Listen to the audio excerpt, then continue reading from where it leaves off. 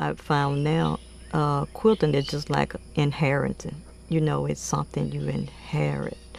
And, um, you know, at first I didn't look at it that way. And I think that's why it's, you know, you think of something that your parents done and you say, you know, kids like to follow what their parents do sometimes. And so quilting, it's kind of like passed down because of the desire to do it and the and the need to do it. That's what why it kept on going.